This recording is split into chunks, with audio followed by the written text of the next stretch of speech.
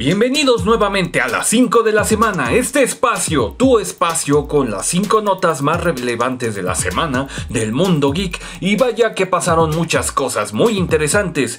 Y bien, abrimos el día de hoy con más de Netflix, este servicio de video en streaming sigue dando de qué hablar, pues recordaremos que la semana pasada iba a implementar la condición de tener que loguearse cada 31 días para poder seguir usando tu cuenta y lo de un bloqueo si inicia sesión en un lugar que sea diferente al de tu ubicación, es decir, tu casa. Bueno, tal parece que Netflix ha decidido suavizar un poco esta medida y en un reciente comunicado mencionó hacer ciertos cambios en ello. Uno de estos cambios es que en lugar de bloquear la cuenta si se inicia sesión en un lugar diferente, enviará una notificación al propietario de la cuenta y un código de verificación de cuatro dígitos, el cual se deberá de introducir dentro de los siguientes 15 minutos para poder brindarte acceso a la cuenta de la persona que estaría usándola. Ojo, esto no quiere decir que Netflix no haya cesado con su medida de cuentas compartidas, pero al menos fue algo a lo que se decidió modificar ante las fuertes críticas recibidas por los usuarios de dicha plataforma. Y vamos con otra nota, que aunque no es de plataforma, pero sí se relaciona con películas y medidas absurdas. La cadena de cines estadounidense AMC se le ocurrió la brillante idea de aumentar el precio de sus boletos, pero con base al tipo de lugar que hay en la sala. Es decir, en lugar de pagar un mismo precio sin importar qué asientos de la sala vayas a tomar, ahora el precio subirá dependiendo cuál sea el mejor lugar de la sala para ver la película. Una medida que obviamente no fue bien recibida por aquellos que aman ir al cine o que ya han podido regresar a las salas después de la pandemia. Incluso el mismo actor Elijah Wood se ha pronunciado contra esta medida calificándola de antidemocrática, además de que penaliza a las personas con menores ingresos y recompensa a las que tienen más. Esta medida ha comenzado a implementarse a partir de hoy en algunas sucursales selectas en ciudades como Chicago, Nueva York y Kansas. Eventualmente se expandirá al resto del país y cuenta con tres precios de butacas, estándar, económico y preferente. Sabido esto, por favor nadie le hable de esto a los directivos de Cinemex y Cinépolis, aunque igual y ya sea tarde, pues su trabajo también es saber eso. Y por cierto, el mejor lugar siempre será hasta atrás. Al menos así no hay quien te esté molestando pateando el asiento. Y bueno, yendo a cosas más buenas, el pasado miércoles fue el Nintendo Direct, un Direct que igual y superó las expectativas de muchos o cumplió cosas que se habían rumoreado o filtrado, quién sabe. Se habló de Expansion Pass para juegos como Splatoon 3, Fire Emblem Engage, Xenoblade Chronicles 3 y Mario Kart 8 Deluxe con la cuarta oleada de pistas y a Birdo como nuevo personaje jugable.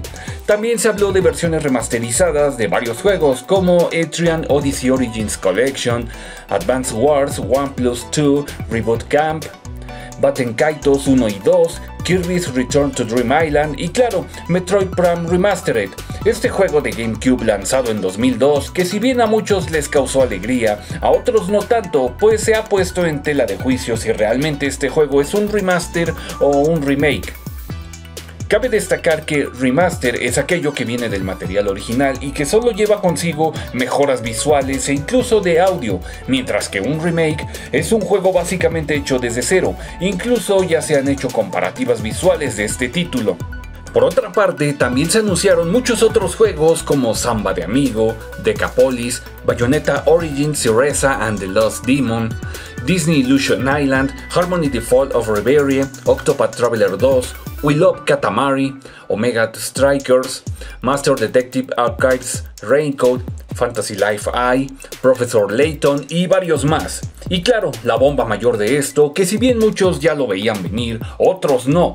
Y sí, nos referimos justo a Nintendo Switch Online que trajo consigo a Game Boy y Game Boy Advance, entre los cuales destacan Super Mario Land 2, Wario Land 3, Tetris, The Legend of Zelda, Link's Awakening DX, Game ⁇ Watch, Gallery 3, Alone in the Dark, The New Nightmare, Metroid 2, Kirby's Dream Land, entre otros para Game Boy y además de Super Mario Advance 4, WarioWare Inc. Mega Microgames, Kuru Kuru Kururin, Mario Kart Super Circuit, Mario ⁇ Luigi Superstar Saga, The Legend of Zelda, The Minish Cap, entre otros juegos de Game Boy Advance que también están por venir.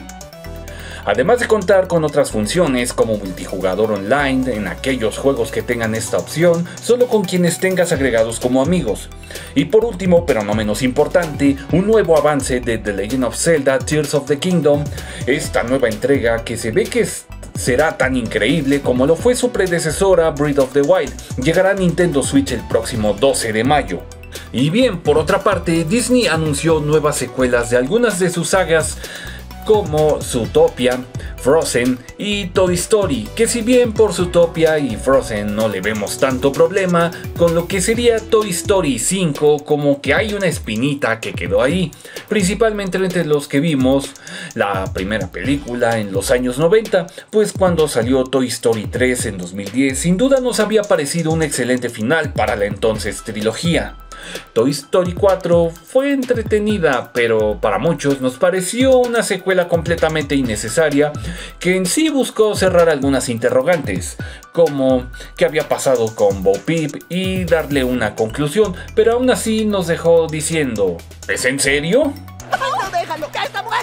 Por otra parte, se ha reportado que DreamWorks ya se encuentra trabajando en lo que sería la quinta película de Shrek, que además estaría ligada a la segunda película del gato con botas. Sin embargo, no sería posible que dicho filme animado se estrenara este año. Habría que esperar a que se dieran noticias oficiales por parte de DreamWorks. También en una reciente entrevista, el actor y comediante Eddie Murphy, reconocido por muchísimos papeles en varias películas y siendo la voz de Burro, el mejor amigo de Shrek, mencionó que estaría completamente encantado de volver a interpretar al querido Burro no solo en la quinta película del Ogro, sino también en algún spin-off que pudiera llegar a tener el Burro, considerando que si el gato con botas ya tiene dos películas, Burro podría ser incluso más divertido que el gato, según las palabras de Murphy. Y bien amigos, estas fueron las 5 de la semana. Esta semana bastante interesante y creemos que la próxima no será la excepción. Pues este domingo será el Super Bowl 57 en Phoenix, Arizona, que tendrá a los Chiefs de Kansas City contra las Águilas de Filadelfia. Tendrá a Rihanna como protagonista estrella del show de medio tiempo. Posiblemente también ahí veamos muchos promocionales de todo, juegos, películas y más. Además también se viene el día de San Valentín, posiblemente pasen muchas cosas interesantes ese día, quién sabe. Es todo por mi parte, yo soy Alexis, hasta pronto.